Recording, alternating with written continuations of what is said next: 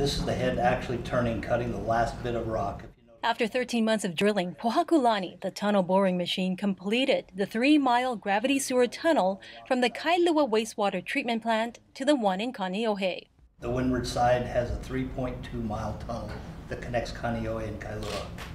That's quite a feat for the windward side and the island of Oahu. I'm hoping that we'll be able to do this in other places. And why do I hope that we can do this in other places?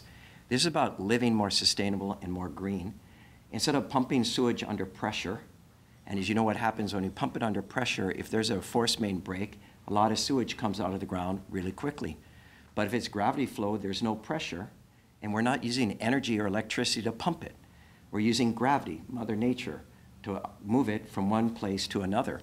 The gravity sewer tunnel is a first for the city and the second largest infrastructure project behind rail. At its deepest, the tunnel is 400 feet below ground and 13 feet in diameter. The next phase of the project is to install the pipe to carry the waste. This is the pipe. This is the pipe here that we're going to be lining. Now you see it curves, but you got to see the whole thing. It's very thick.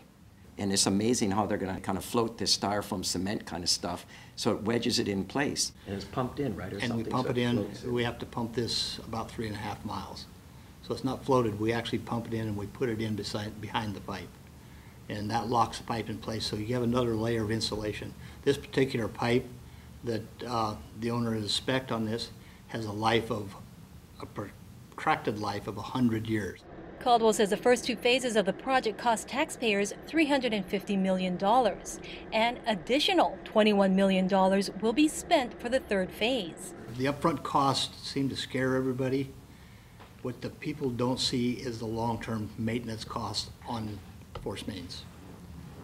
Gravity sewer, once it's in the ground, it's pretty much there forever and you don't have to do anything to it. Construction on the tunnel started in 2013 and should be completed in two years.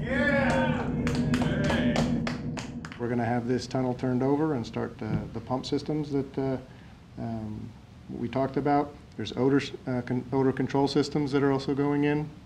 And, uh, and then this is also the, one of the wonderful things about this project is that um, it's working so well, we're looking at doing more of them throughout the island.